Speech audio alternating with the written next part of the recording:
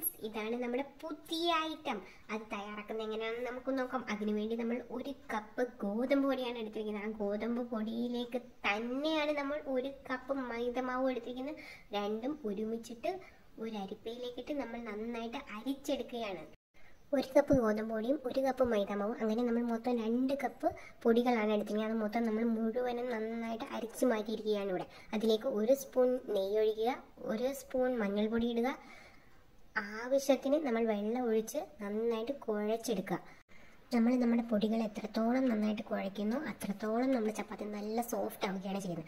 അതിനുവേണ്ടി നമ്മൾ ആവശ്യത്തിന് വെള്ളം ഒഴിച്ച് നമ്മുടെ ചപ്പാത്തി നന്നായിട്ട് കുഴച്ചെടുക്കുക.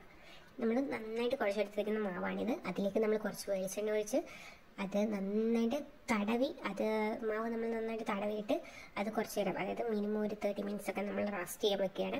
ആ റെസ്റ്റ് ചെയ്യാൻ വെച്ചിട്ട് പിന്നീട് നമ്മളെടുത്ത് ചപ്പാത്തി ഉണ്ടാക്കാൻ പോവുകയാണ് അത് ആ മാവ് ഓരോ ബോൾ ചെറിയ ചെറിയ കുഞ്ഞു ബോൾസ് ആക്കി നമ്മൾ മാറ്റി വെക്കുകയാണ്. നമ്മളിങ്ങനെ ബോൾസ് ഉണ്ടാക്കുമ്പോൾ അത് വളരെ ചെറുതാവാൻ പാടില്ല. അതൊരു മിനിമം സൈസിലായിരിക്കണം അങ്ങനെ നമ്മൾ നാല് ബോൾസ് ആണ് ഇപ്പോൾ ഇവിടെ ഉണ്ടാക്കിയിരിക്കുന്നത്. ഇനി അടുത്തതായിട്ട് നമ്മൾ ഒരു കപ്പ് ശർക്കരയാണ് എടുത്തിരിക്കുന്നത്. ശർക്കര പാവ് കച്ചാൻ പോവുകയാണ് അതിനാവശ്യത്തിന് കുറച്ച് വെള്ളം ഒഴിക്കുക. അങ്ങനെ ശർക്കര ഉരുകി തുടങ്ങിയിരിക്കുകയാണ്. ആ ശർക്കര ഇങ്ങനെ തിളച്ച് തിളച്ച് നല്ല കാണാൻ തന്നെ നല്ല ഭംഗി. അതായത് മണമൊക്കെ അടിക്കുമ്പോൾ നമുക്ക് കഴിക്കാൻ തോന്നുന്ന രീതിയിലാണ്. അതിലേക്ക് നമ്മൾ ഒരു കപ്പ് തേങ്ങ തേങ്ങ ഇട്ടിരിക്കുകയാണ്. ആ തേങ്ങയും ശർക്കരയും കൂടെ നന്നായിട്ട് ചേർന്ന് ഒരു പാവ് അതായത് നന്നായിട്ട് ചേർന്ന് നന്ന എന്താ നമ്മുടെ അലുവ രൂപത്തിലാവത്തില്ലേ അതുപോലെ നമ്മൾ ഇവിടെ ആക്കിയെടുക്കാൻ പോവുകയാണേ ഇങ്ങനെ നന്നായിട്ട് ശർക്കരയും തേങ്ങയും കൂടെ അതിനകത്ത് കിടന്ന് നല്ല കുഴമ്പ് രൂപത്തിലായി വരും. ഏകദേശം ഇതേപോലെയാണ് നമുക്ക് ആവശ്യം.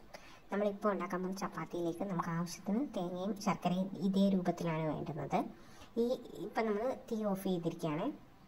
ഇനി അതിന് വേണ്ടി ചപ്പാത്തി ഉണ്ടാക്കാൻ വേണ്ടി നമ്മൾ ഒരു വാഴയില എടുത്തിരിക്കുന്നു. വാഴയിലേക്ക് വാഴയിലേക്ക് കുറച്ച് വെളിച്ചെണ്ണ തടവിയിട്ട് നമ്മൾ ഉണ്ടാക്കി വെച്ചിരിക്കുന്ന ബോൾ എടുത്ത് കുറച്ചൊരു ചെറുതായിട്ട് നമ്മൾ പരത്തിയെടുക്കുകയാണ്. ചെറിയൊരു സൈസിൽ പരത്തിയെടുത്തതിന് ശേഷം നമ്മൾ ഉണ്ടാക്കി വെച്ചിരുന്ന പാവ് അതിനേക്കാട്ടി ചെറിയൊരു ബോളാക്കിയിട്ട് അതിനുള്ളിലേക്ക് ഇൻസേർട്ട് ചെയ്ത് നമ്മൾ ഒരു വേറൊരു ബോൾ അതായത് രണ്ടും കൂടെ വെച്ചൊരു ബോളാക്കിയിട്ട് നമ്മൾ ഇനി ചപ്പാത്തി പരത്തുന്ന പോലെ. ഇതിപ്പം നിങ്ങൾക്ക് കംഫർട്ടബിൾ ഏതാണോ അതുപോലെ അതായത് ചപ്പാത്തി പലകയിലോ പ്രസ്സിലോ അത് കൈവച്ച് തന്നെ വേണമെങ്കിൽ കൈവച്ച് നന്നായിട്ട് പരത്തിയെടുക്കുക ഇനി ചൂടാക്കി വെച്ചിരിക്കുന്ന നമ്മുടെ ദോശക്കല്ലിലേക്ക് ചപ്പാത്തി ഇടുക. അത് നന്നായിട്ട് ചൂടായി നല്ല ഒരു സൈഡ് വെന്ത് കഴിയുമ്പം നമ്മൾ അപ്പുറത്തെ സൈഡിൽ അത് തിരിച്ചിടുകയാണ് ഇവിടെ ചെയ്യുന്നത്. തിരിച്ചിട്ട് നന്നായിട്ട് വെന്ത് വരും. ചപ്പാത്തി നന്നായിട്ട് പൊങ്ങി വന്നിരിക്കുന്നു നന്നായിട്ട് വെന്തിരിക്കുന്നു. ഇനി നമുക്ക് വേറൊരു പാത്രത്തിലേക്ക് മാറ്റാം.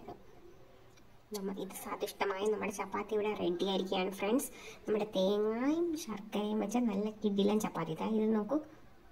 എന്ത് നല്ല രസമാണ് കാണാൻ.